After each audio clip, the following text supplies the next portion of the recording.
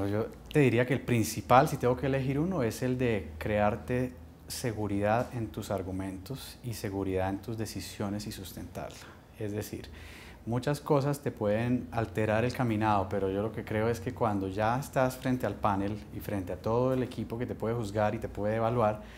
la seguridad tiene que estar ante todo visible en tu cara y los argumentos tienen que ser eh, imbatibles o sujetos a revisión, pero con la misma seguridad. Para mí el reto fue construir mucha seguridad, mucha tranquilidad y mucha celeridad en lo que se dice.